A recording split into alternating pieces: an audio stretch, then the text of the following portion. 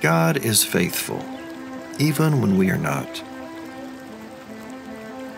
It says in Psalm 100, verse 5 For the Lord is good, and his love endures forever. His faithfulness continues through all generations. I was recently praying for some specific circumstances in my life when I started thinking of all sorts of reasons why God should not answer my prayers. I started thinking thoughts like, well, if you'd done this or that, then God would surely answer these prayers. And, well, if you hadn't done these other things, then God would answer my prayers. Then God reminded me that these were complete lies and attacks from the enemy. God loves us so unconditionally that we can never fully understand it. He delights to bless us and answer our prayers. The Bible says in Psalm 147, verse 11, The Lord delights in those who fear him, who put their hope in his unfailing love. Yes, there are consequences for what we do and for what we don't do. For instance, if I eat too much, I will become overweight. If I'm selfish, then others may not like me. If I don't do a good job with my work, then I most likely won't advance in my work. If I don't spend time with my family or my friends, then I won't grow in those relationships. And of course, if I don't spend time with God, then I won't grow in that relationship either. But these consequences are different from the love and blessings of God. These are natural, real life consequences of the natural world. Here is an analogy to share a little perspective.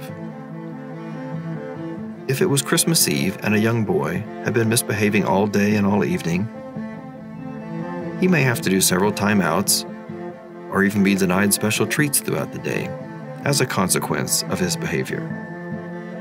But if he has loving parents, they would not deny him the joys of Christmas morning and all that comes with that. They would love him way too much to take that away.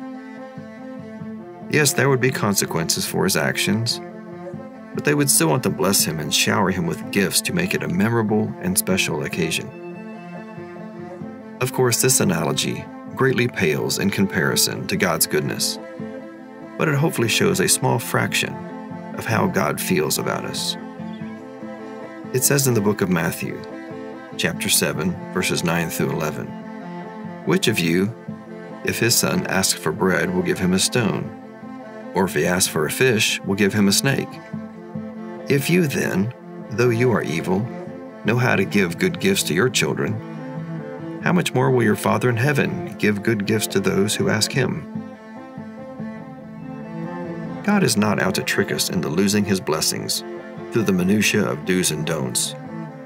He is our true Father, and we are his children that he so loves. He is always on our side, cheering for us to win. It says in 1 John chapter 3 verse 1, How great is the love the Father has lavished on us, that we should be called children of God.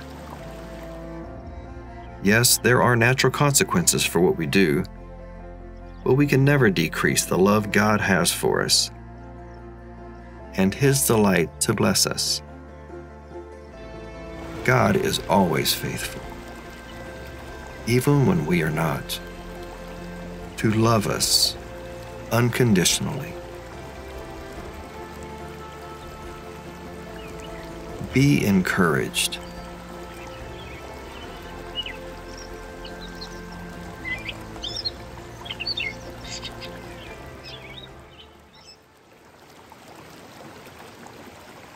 If this video gave you encouragement or hope, please let us know in the comments and give it a like and share it with others. If you would like to see more encouraging videos like this one, please subscribe and hit the notification bell. These videos are created to encourage you in your walk with Jesus and to grow you closer to Him. To further assist you in growing your faith, we have included links to selected resources in the video description.